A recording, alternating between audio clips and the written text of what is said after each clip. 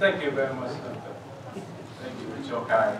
Like I just told everybody, that Senator had bring the Vietnamese community so much, and he not just in this all over the West Coast. If you ever look around here, uh, sometimes we travel to California to, uh, do some presentation with the Vietnamese community as well. So I thank you, sir.